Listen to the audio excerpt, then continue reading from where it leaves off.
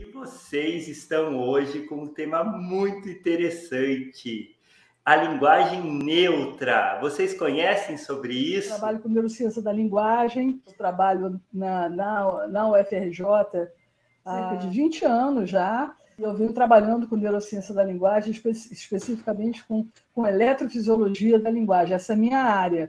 Mas eu até tô, é, fiquei tão interessada por esse tema que eu até comecei a, a a esboçar uma pesquisa. É, meu nome é Bruni Medeiros, eu sou travesti, transfeminista e transativista, licenciando em Letras Português e Francês na UFRJ, quase nos últimos períodos, e integrante do Núcleo de Estudos em Discurso e Sociedade. E sou integrante do projeto Políticas de Gênero, Políticas, Políticas de Língua, Políticas de Gênero, Ativismo ativismo linguístico e atos de cidadania no Brasil contemporâneo. Estou aqui para falar um pouquinho, pegar um pouquinho de uma visão de alguém que está dentro da comunidade, usando a linguagem neutra, estudando a linguagem neutra e incorporando ela no cotidiano, disseminando esse conteúdo para mais Prazer pessoas. Prazer estar aqui junto da Bruni, porque poder debater diretamente as ideias da, da linguística e poder é, pensar aonde fica a linguística é, dentro desse tipo de problema que a gente sabe que existe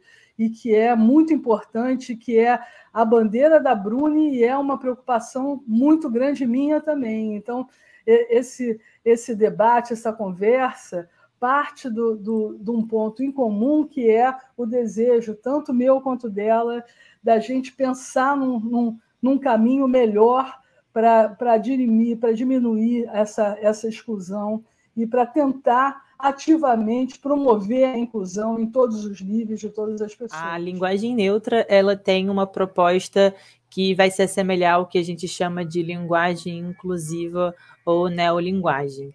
Então, a linguagem neutra ela tem a proposta de incluir pessoas no discurso, incluir pessoas na língua que estruturalmente e socialmente são excluídas da sociedade. O dia dos professores, o dia do professor, ele realmente tem uma questão muito forte, né? Porque aí a gente vê como é muito evidente o masculino sendo é, é preterido, sendo privilegiado como uma forma genérica que deve representar a todos. É, o masculino sempre teve esse papel, sempre não, né? Mas o masculino ele, ele tem esse papel ele tem para diversas funções, né? As línguas, elas, elas escolhem algumas coisas para elas representarem dentro de um repertório grande de coisas, né? Então, o português escolheu ter morfema de gênero e trabalhar com gênero, e ele faz isso de uma forma geral para todos os nomes. Então, a gente fala coisas como o menino e a menina, que, que o gênero está de uma forma relacionada ao sexo, né? mas é, o gênero gramatical está relacionado ao sexo, mas a gente também fala a mesa, a cadeira, o banco, a poltrona. E a gente fala coisas malucas como o sofá, que ninguém nem percebe que o sofá termina com A, mas a gente fala O.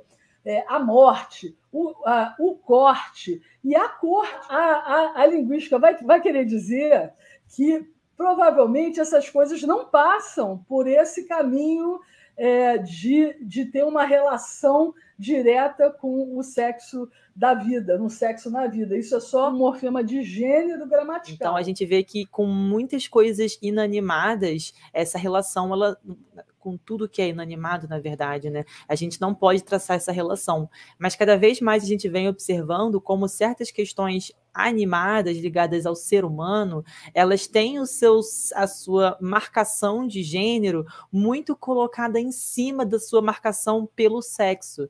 Vamos colocar aí que é muito recente que a sociedade está diferenciando sexo de gênero, está diferenciando uma questão biológica, cromossomial, de uma questão social, uma questão de, é, é, é, de construtos sociais que são atribuídos a cada um desses dois, e eles são atribuídos com um propósito.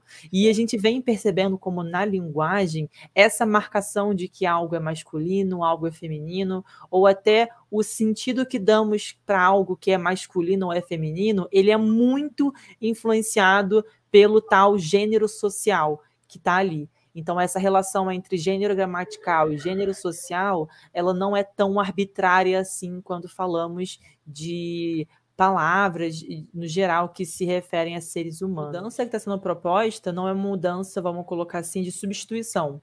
É, de fato, uma mudança, mas é uma mudança de inclusão.